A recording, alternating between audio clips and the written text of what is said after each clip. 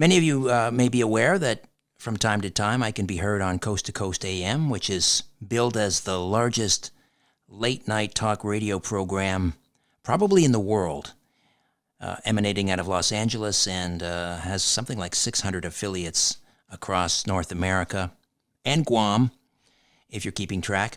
Uh, I'm going to speak with one of my colleagues on Coast. In fact, I think we started Coast to Coast around the same time, 2014. And uh, we're going to talk uh, Bigfoot and cryptids and haunted locations with Connie Willis, a professional broadcaster, radio and television for two decades on networks like Disney, Oxygen, ESPN, Speed, QVC, HSN, and more. And again, you can hear her on Coast to Coast. She's been there since 2014. She has several of her own programs as well. She's got a, a brand new podcast she'll tell us about, and of course, Blue Rock Talk, which is her exclusive membership show, taking you to creepy hotspots with real investigations of Bigfoot, strange lights, and hauntings live virtually. And uh, Connie After Dark, which is her live virtual open bar. Oh, I like the sound of that. An open bar. Nothing worse than a cash bar, uh, where you can enjoy a drink uh, or water if you'd prefer, and a conversation with her and others from your home. And uh, you can find all of this at ConnieWillis.com. Connie, great to see you and hear you. How you are you? too. I'm doing okay. I'm hanging in there. It's daylight outside, and I've got a mic in front of me. It's supposed to be dark at night when we when we get on the mic here. That's true. We are uh, we are creatures of the night. It's true. Um, people are always I think people that follow Coast to Coast are always interested in kind of getting a little backstage pass, and you know, don't, we don't tell tales out of school. There's not much to tell. I mean, it's you know, we it's all done remotely. We're not in Los Angeles, right? Uh, it's probably not as you know as uh, exotic and and uh, as people may think. But uh, what for you is the, the the best part of guest hosting on Coast? Oh my goodness. Oh, that's kind of hard to answer because it's so many things. I you know, I was in I was in music radio for like 15, 17 years, right before I even graduated from college. Uh, I was doing music videos or, or music, you know, music radio. So if you've ever done that, you know that, you know, there's not a lot of talk usually. You're just pumping the music and back selling it, front selling it, all that kind of thing and you're working pretty hard usually. You're usually five to six days a week. You have events that you go to. You have a couple hours of production when you get off the air. Uh, the person that's supposed to take over next after you doesn't show up so you got to do their shift you know all sorts of things just like wkrp in cincinnati totally right? That's how that radio is and then from there i started doing television and it was national work like what you were had just mentioned and after doing that, at one point, I said, you know what? I, I miss radio. However, if I get back into it, it would only be talk. And and I thought about that and I thought, coast to coast would be it, you know, something like that. so it, I'm blessed to be in it. So there, right, right there is one good thing. It's talk. It's it's um things that are not the norm. It's not angry politics. It's not uh, the daily news. You got to stay on top of everything. It's, uh, I mean, you know, that's good too, but I just love learning about the things that I have a passion for and talking about those things with other people. So that's a plus too, because that's truly a passion for me. Doing TV, they would throw me into, you know, if you did good uh, on one show, a producer might be talking to another producer saying Merry Christmas or something, and they'd say, Oh, I got a great talent. And then you'd be pushed over there, which was all great. So you'd go to do another show, but it, it didn't have anything else to do with a past show. And sometimes, like I did car racing, I didn't know anything about under the hood or anything. I, I can put gas in it and uh, ask, you know, pay for someone to change the oil or something like that. Or, you know, oops, I forgot to fix the tires. Uh, that one just blew and that one's about to. So, you know, let me pay. But um, radio, you know, that's just where it's at. You know, you want to find your passion. And that's it. So coast to coast was it. So that was my big plus. But just being coast and the fact that the fact that it is the biggest you were just talking about it is the biggest nighttime show on the planet and and uh, I think it you know knocks off a lot of the daytime shows too. It's just amazing. I'm so happy to be on here. So I I was asked uh, October of 2014 because it was around my birthday that I remember. So I felt like it was this great birthday present. What about you? Do you remember the month? Uh, actually, it was um, April 2009, my very first show. Oh, okay. Uh, then I started doing it regularly in January of 2014. My the very first show was in uh, April 2009, and uh, my lovely bride, uh, who I refer to as the mighty Aphrodite, um, just on a whim. I mean, she's my my biggest fan and my biggest critic, and and um, she put a package together and I and I saw her putting you know my resume and all this stuff into an envelope and address. I said, "What are you doing, honey?" And she says, "I'm sending this to Premiere Radio Network." I said, oh. "Why? Why are you doing that?" She says, "Because I want to get get you on coast to coast." And I said, "Yeah, as if." And so she she found out who to send it to. It was the the vice president of talk at Premiere, who had, as it ha- she did she does her research. As it happened uh, at that time, and I forgot. Uh, was it Bill? It wasn't Bill. No, it was Oliver, someone, and it as it happened, he was a fellow Canuck. He was from Montreal. I don't, oh. I don't know if he's with the company anymore. Okay. So she said, "I'll send it to him, and I'll bet I'll he'll think it's it would be cool to have a fellow Canadian guest hosting on Coast to Coast." Smart lady. I said, "Okay, well, Godspeed, good luck." and uh, sure enough, one day the phone rang, and it was the aforementioned Oliver from Premiere, and he said George is taking next Friday off because it's his daughter's birthday, and I think it would be. And he actually said it right back. I think it would be cool to have a fellow Canadian guest hosting on Coast to Coast. So what do you say? So um, that's, that's excellent. So I did one show, and you know I didn't I didn't hit a home run, but I thought it was a kind of a serviceable first attempt. You know, I was pretty nervous, and uh, that was it. I didn't I never heard back for five years. And I thought, okay, well, you know what? I did one coast to coast. I can always say I've done one coast to coast AM. They can't That's take right. that away from me. And then uh, Lisa Lyon called back in January of 2014 and been doing, you know, typically about three shifts a month uh, ever since. And it's, it's, uh, it's really a, a, thrill each and every time. And uh, again, it's having that enormous platform, mm-hmm. you know, available to you. And late night, it's the greatest audience. Late night audiences are the greatest audiences in radio, and I love live radio, um, and I love the the the whole culture and community that has evolved around the the coast mythos, and you know to be uh, in the same f- family, really mentioned in the same family as people yeah. like Art Bell and George Noory and George Knapp and, and, and everyone. It's it's just a it's a, an absolute uh, thrill each and every it, time. It is. I I always think, wow, I'm a part of that history now. I'm a part exactly. of that history. Even you if you just do one show, you're a part of that history. Uh, so you ready for my story on it? How that happened for yes, me? please. You're gonna like it because it's kind of similar. I mean, it's just kind of this shot in the dark. I was actually at one point, uh, I put together a reel, and uh, it was basically to be a lead in. You know, I was hoping to do a nationally syndicated show, and it led into Coast.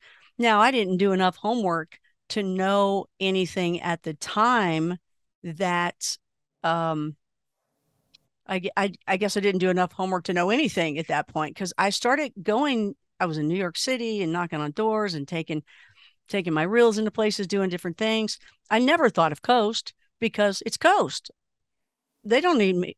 Who? What? They got George Noory. They're good. They're set. You know, I didn't even know about the other everybody else coming in, you know, uh, the the weekend all of us other people, yeah. weekend guest hosts and stuff like that. I was just like, they don't need me. They they've got everybody they need. So so I was trying to do a lead in, not not even repl- not not even trying to go against it. But man, when I was out there, everybody was, you know, I learned how huge Coast was, and it was it was a pleasure to to learn all that. And I just thought, you know, I just I just want to lead in. I'm not trying to compete. I, I can't do that. I just want to be the person before. And uh, they actually had, well, Clyde Lewis at that point. Uh, most people had that, or they felt ground like, zero, right? Yeah, with ground zero, and and everybody had said, well, we kind of feel like we've got that because we already have coast, uh, and you know they kept the real things like that, whatever. But I did that for quite a while, And I thought, well, I guess this isn't going to happen. But a guy by the let's see, Rusty Walker, he has since passed, but he uh, was a consultant, big radio consultant, great, huge with country. He won uh, country music um, or country uh, consultant of the year or something at one right. point. I didn't even know they had that award, but he won. He was great. Everybody loved this guy. And I'd asked him originally about, I'd given him the reel. He knew the format was basically like Coast. It just because that was always my passion. In fact, when I was at uh, K92 FM in Orlando, the ops manager there would always say, Connie, you heard that new show out there, Art Bell? You know, you that's what you could do. they actually thought about doing it at that station at the time. Um, then I got into TV, but it was great because he said, Connie, okay, I'm going to work with you. I've got somebody to call and it will open you up really quickly to 80 stations. So we'll syndicate this. Uh, he said, I don't believe in the content, but I'm going to, but I believe in you. I'll salute you all the way up. He said, I thought, this is great. This is wonderful. You always liked my work from radio. And I thought, this is wonderful. This is good. I'm just going to wait. And then he died. He had a heart attack on his bike. It was absolutely horrible. It was just horrible. He was just a wonderful guy, too young. It was, uh, but before he had passed, he had said, you know, Connie, you ought to just send a tape to Coast. So after he had passed and a while later, I remembered what he said. It was almost like he tapped me from the other side, which you and I would believe, right? Hmm he um so so I wrote I put the I put together I found who to send it to, which was the president up in New York. So so Julie Julie Talbott, our president. I sent it to her and uh and an email. Remember when you used to have to send all those packages and stuff, really big heavy packages from oh, yeah. a long time ago? yeah. Just sent it digitally. It was less than 30 minutes. It might have been 20 minutes or even less. I got an email back and she had said basically you're on the team uh, our vp is going to call you and and he he wrote me like 15 minutes or less after that and wow. said okay you're going to be on uh, kind of like you this next coming weekend blah blah blah i was like i hung up you know, or not I, I wasn't on the phone but i got off the computer and i was like oh my gosh i'm on coast to coast it was that easy it was that simple you know but i think you and i both have put in a lot of work uh, beforehand to be able to get to that point as well. But you know what? Hey, she's from Kentucky. I'm from Kentucky.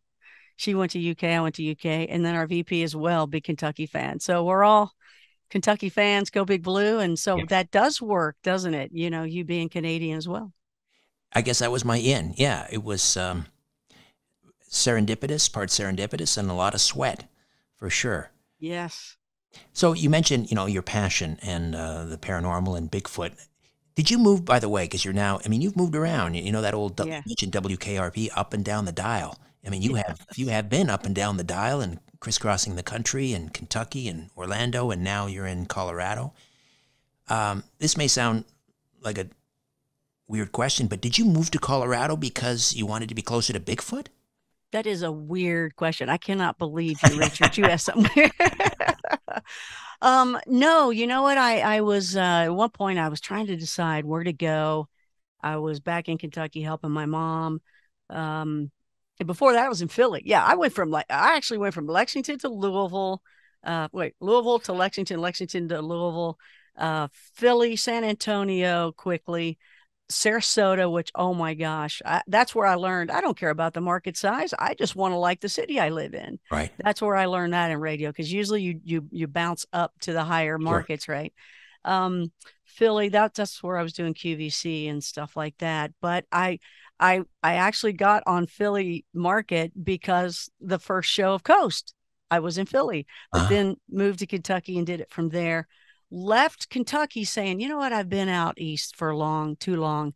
Where do I go next? So it was going to be, it was either going to be Denver, Seattle, and I was considering LA, Sherman Oaks, where the the uh, headquarters is, right, of Premiere and Coast. And yeah. Coast. And um, even heard there might have been a studio out in Hawaii. I thought, hey, wait a minute, wait a minute. There's a studio in Hawaii. but I did think about getting a little closer to the station. Um, and normally you would, right? You'd think that's a good idea. But it doesn't really matter. I, am in a closet. I think you might, you know, you're in, you're at home too, right? I, I love it. I'm in an actual closet. I love it. Um, so Denver it was, and here I am. However, you're right though. I mean, outside my window, the Rockies, beautiful.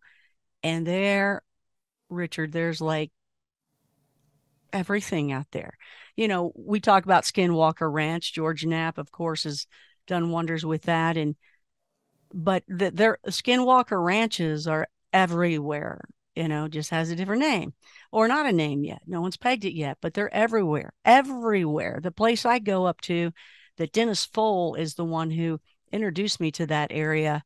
He is the guy that, if anybody's into the Bigfoot world, he was the, I think, the only guy ever paid at the time. Maybe there's some more people to study what was called the Pancake House in Kentucky, actually, also known as the Erickson Project, because Erickson is the one who funded like $3.5 million into uh, the study of the Bigfoot that are around this house. This lady used to feed pancakes to a Bigfoot or a Bigfoot family for years, like maybe even over decades.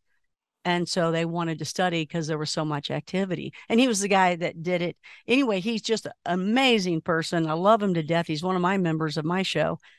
But he showed me that area and there's so much stuff. At least the area I go to, there's so much activity up there. Bigfoot, UFOs, beams of light, sparkles, dogman, things I've never seen before. it's like, what is that entity? Just different things happen all the time. And I, I love that. Sometimes it's a little much though, Richard. Sometimes I get worn out because it's just too much. When you know, it's not like just once in a while, once in 10 year, years, you see something. It's every time. And how, what is every time? Is that once a month, twice a month? Well, my show, uh, Blue Rock Talk, has three elements to it. It has Far Out Thursday, which is interview like this, Bigfoot Friday, interview like this. So Far Out is anything other than Bigfoot.